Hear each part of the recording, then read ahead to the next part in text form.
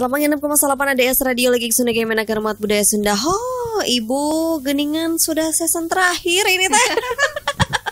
Oh masa sih?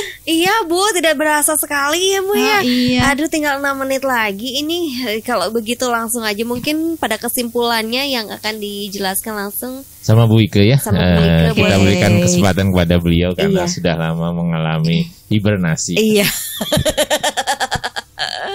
Kelihatan ya kalau yang habis hibernasi itu ya. Iya, jadi pada kesempatan ini kesimpulan yang kita bahas eh, kita tarik kesimpulan bahwa dengan berpuasa akan meningkatkan daya tahan tubuh. Mm-mm. Ya, jika saat puasa kita merasa lemas atau dehidrasi, berarti kita harus meninjau ulang nih asupan gizi ataupun cairan yang kita peroleh ketika sedang berbuka ya dok ya ataupun pada saat sahur.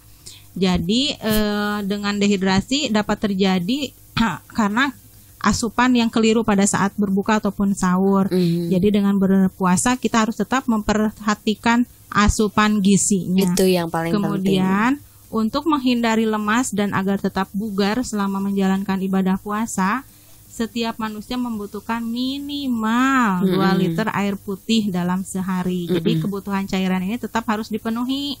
Jadi ketika Walaupun puasa ya. walaupun puasa. Jadi ketika Berarti puasa, boleh minum siang ya? Eh, kita harus memaksimalkannya. Kalau lupa, Pak. Ah, jangan.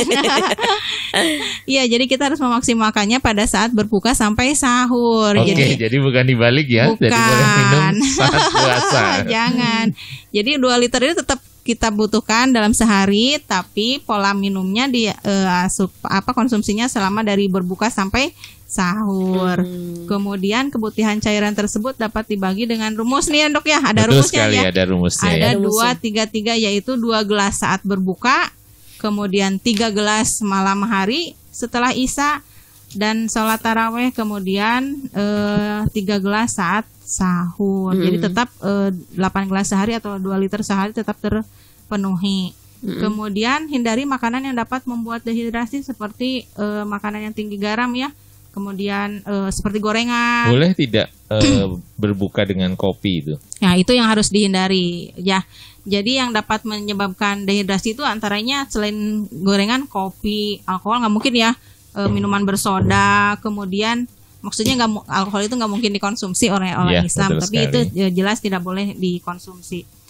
Jangan lupa untuk memperbanyak makanan-makanan yang memiliki kandungan air seperti sayur, buah-buahan, eh, dan lain sebagainya. Oke. Itu pada intinya. Eh, ingin menambahkan saja bahwasanya memang eh, alkohol tuh bisa membunuh eh, bakteri atau virus ya. ya. Cuma jangan sampai kita eh, berasumsi dengan minum alkohol kita terus bisa eh, mengalami bebas dari virus dengan Iya. bakteri ya Bu Ike ya. Betul. Jadi eh, banyak orang yang berasumsi seperti ini sehingga mereka menghalalkan sesuatu yang haram menjadi halal karena eh, kasus-kasus yang eh, seperti saat ini. Mm-mm. Jadi tetap eh, terima informasi yang bisa ditanggungjawab, eh, bisa dica- eh, dipertanggungjawabkan Betul. dan buang eh, informasi yang memang tidak bermanfaat. Iya. Eh, tambahkan eh, diri kita eh, untuk tetap berasumsi positif, tutup berpikiran positif sehingga imunitas kita akan bertambah. Itu Bu Iya, Ike?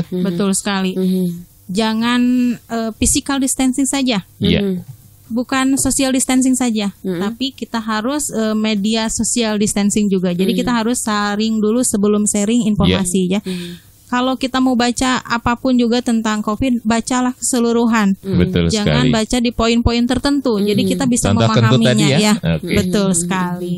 Tetap hidup sehat, tetap Iya. memakai masker setiap Iya. keluar, jaga jarak, jangan lupa cuci tangan. Ya. Kemudian, kemudian yang terpenting konsumsi gizi seimbang. Mhm. Jadi jangan makan sembarangan kayak teman bahasa Rabu.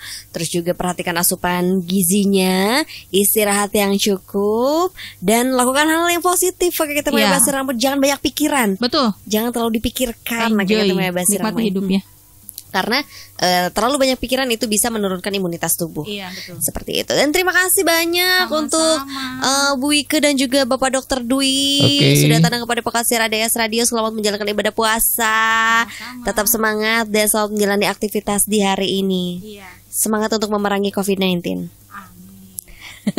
Assalamualaikum. Waalaikumsalam warahmatullahi wabarakatuh. Iya, akan kita mau bahas dan untuk ke mana-mana serta terus bersama Dian Madrim. Akang Ete, demikian tadi telah Anjin ikuti gelaran Papangge Talkshow Kesehatan kerja bareng ADS Radio bersama UPTD Puskesmas Jomin. Orang tepang Dei Minggu Payun. Saatnya kita ikuti gelaran Salajengna.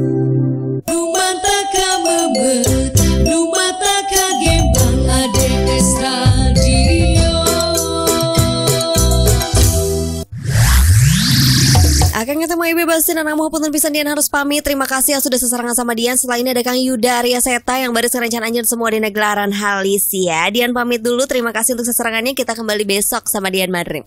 Bila etik cetik sama di Hampurano di Tedasim kuring Dian Madrim ada jaring media etik Indonesia yang ngatur kesapunya pegat simpai paturai patupang dewa. Wassalamualaikum warahmatullahi wabarakatuh. Cak.